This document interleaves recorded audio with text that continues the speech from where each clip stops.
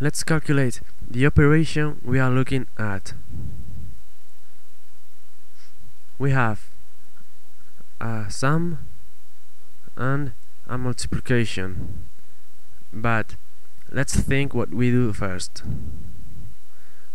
Doing math operations, multiplications and divisions are always made before sums and subtractions, so we'll do this first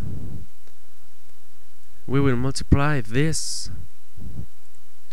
and then we'll add the result to this fraction.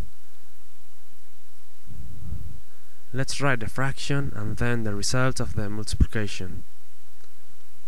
When we multiply fractions it is numerator times numerator 3 times minus 2 minus 6 and denominator times denominator. That's 10 once we've done this, we have to make the sum. So let's write the same structure and let's calculate the lowest common multiple between 3 and 10. 3 is already a prime number, so it, it can be redu reduced, and 10 can be expressed as 2 times 5.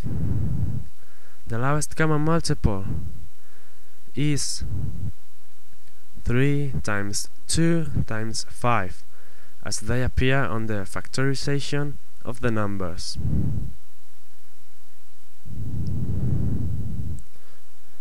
This is equal to 30. We write it on the denominators. Now, 30 divided by 3, 10, times 2, 20. 30 divided by 10, 3 times minus 6 minus 18. The denominator stays the same and the numerator is 20 plus minus 18 that's 2. This is the result but we can simplify it. Let's divide everything by 2 and we have 1 divided by 15.